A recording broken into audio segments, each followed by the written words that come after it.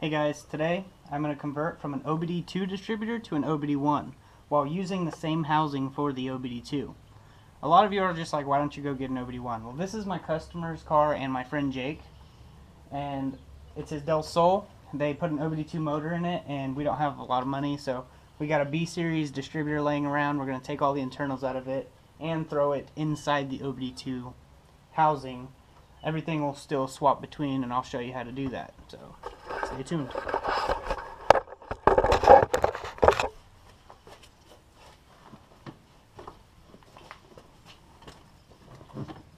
This one here is the OBD2. You see how it has a one wire? This is the housing we're going to use for the D16Y8 engine. This one is a B series. Um, and as you can see, just by looking at it, the mounting is different. This, this, they're set the same direction. This also has two connector plugs versus the one. OBD1, OBD2. First we're going to start taking apart the OBD2. At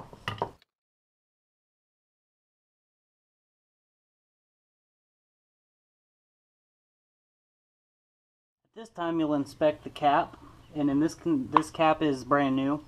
You'll check the points, make sure there's no corrosion. Um, the uh, inside points where the plug wires go in, you'll want to check in here. There's no corrosion because this cap is brand new, so we'll reuse this cap. Also, check the rotor. This rotor is also brand new. There's no wear on it, so we're going to reuse this rotor coil. This is an entirely remanufactured distributor, so we're going to use all the internals out of this that we can.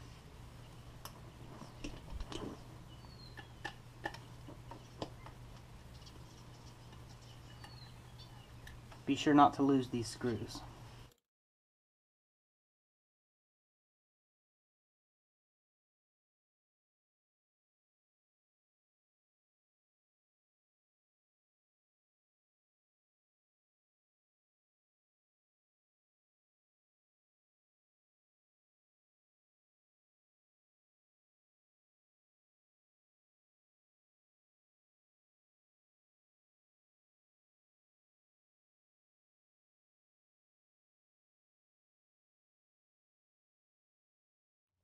Okay, now that you got all this up here undone, you're going to want to focus on the back side. And there's this little C-clip here.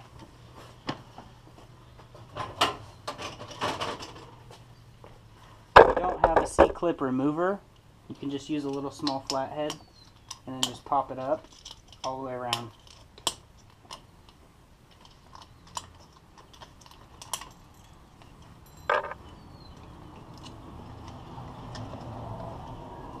And then knock the little cylinder out and it pulls apart.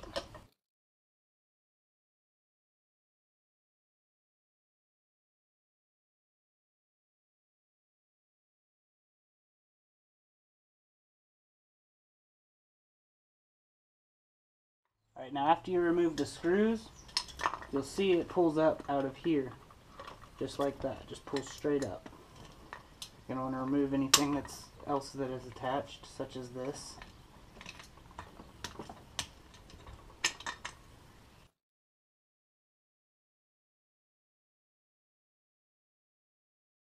And that's it for the uh, internals, the wiring for the OBD1 system. Now you're going to want to take all this and put it in the OBD2 housing. You can reuse the coil, the rotor, uh, the igniter, but I'm not too certain on reusing these because some of them are set up differently for timing. So I would just stick to the OBD1, OBD2's manual mechanisms like these. Okay, now we're going to remove the OBD2 components and the internals. Um, if you look inside this cap, there's some corrosion on all four of the points. That means it's time to replace this cap. So it's a good thing we have the other cap. So this one's just trash. The B series and the D series share the same exact cap, so no worries there.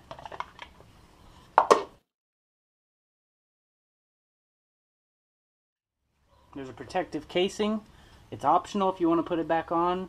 I usually don't, but in this case I will since it's not my car, it is for a customer.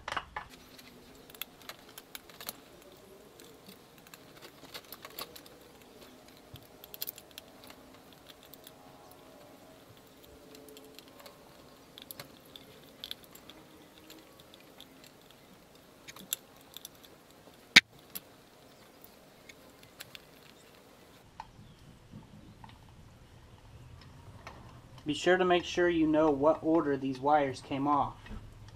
Green and yellow, that one is the farthest one away from the flat side.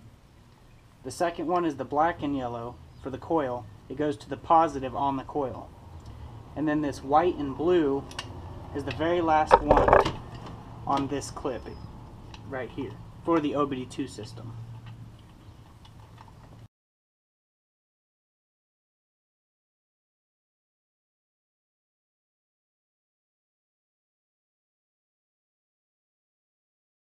Also, when removing this and you pull this pin out, you lose the timing. So it can be either dead on or 180 degrees off.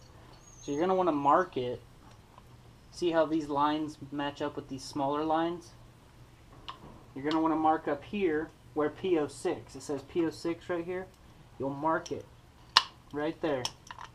So you know that PO6 and that have to line up in order for these lines to line up. It's just a good way to do it. And if you don't, you'll have to take it all back apart off the car because it won't start. So carefully do all that.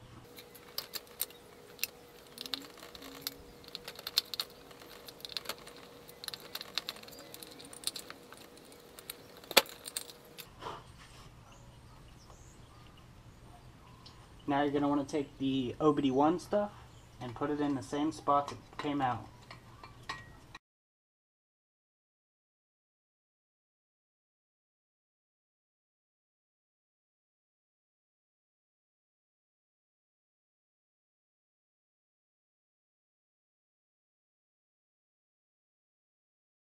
Make sure the PO6 is lined up with that mark that was made earlier. And then you insert this where the line is with that line up top.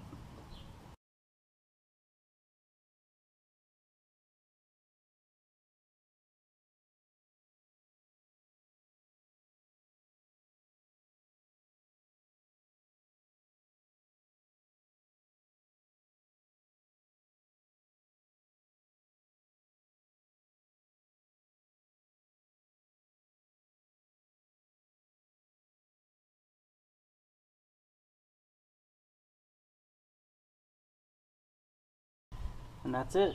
Well, we'll set it on the car and fire it up to give it a test run.